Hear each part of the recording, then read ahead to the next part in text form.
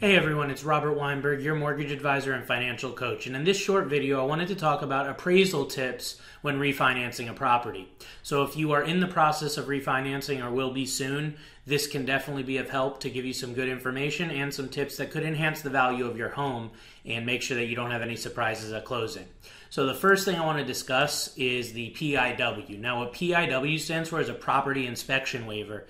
Now, this is just something that's come out in the last couple years uh, through conventional mortgages, which would be Fannie Mae or Freddie Mac. PIW does stand again for Property Inspection Waiver, which allows you to actually have a waiver of a uh, appraisal on your property. Now, this is going to do a couple things. Number one, it'll speed up your loan processing, usually allow you to close about a week to 10 days early.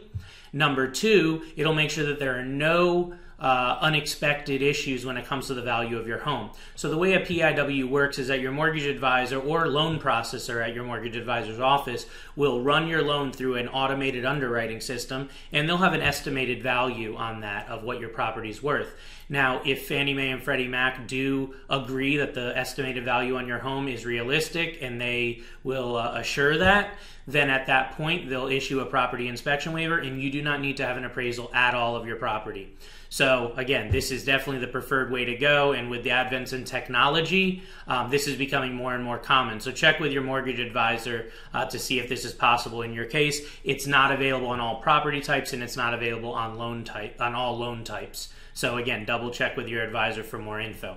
Assuming that you do need an appraisal on your property, you're going to want to make sure that you are there for the appraisal. Uh, you have no idea how many clients that I've worked with over the years that'll have an appraisal uh, appraiser come to their home and maybe their uh, you know their nephew is there and he'll let the appraiser in or you know a spouse is there but they don't really have any information that is good for the appraiser so you as the borrower as the one who's heading up the loan process want to do whatever you can to be there for the appraisal. And the reason is, we'll get into in these couple uh, tips. So you want to be able to give the appraiser a list of upgrades that you've done. Any and all work that you've done since you bought the house, you want to put onto a spreadsheet or some sort of list that you can give to them because they're going out there blind. Most of the time, maybe they've done a little bit of research online, but they don't have a lot of info on your property and specifically the work that you've done. The more information you can give them when they're at your property, the better. And I've found that accomplishing this with my clients is best done by putting just a list of upgrades and work that you've done since you purchased the property.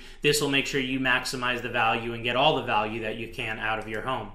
Next is walking the appraiser through the property. So this is going to go along with just the upgrades and work as you're showing them throughout your house you can point out the different work that's been done, point out the upgrades that you've done, and make sure that you're getting full credit for any and everything that you've uh, completed. And it may not seem like a big deal to you, but I actually had an appraisal about two years ago now where a client was not there for the appraisal. Their spouse walked the appraiser through and didn't mention that they had a heated garage. So when that appraisal came back, we noticed that there was no heated garage listed. We had to go back to the appraiser and mention it to them. And just that little thing added $5,000 to the value of their home. So I always tell that story now so you know kind of what the real reasoning is behind it. And there's one story, and I could tell you others, but there's one where just being there, giving them the list of upgrades, and walking them through with detail allowed this one particular client I'm talking about the value of their home to go up by $5,000.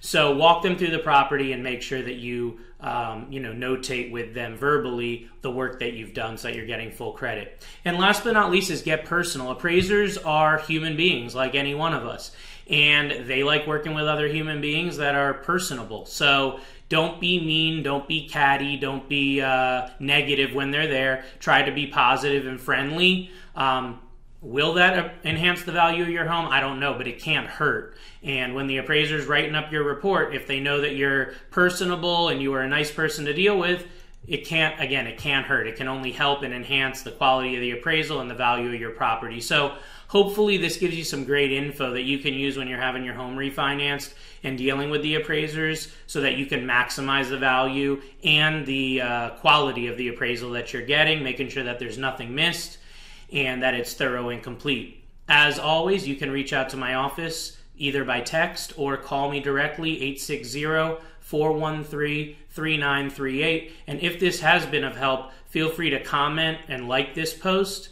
And you can subscribe to my YouTube channel by clicking on the link below. And thanks for watching. Take care.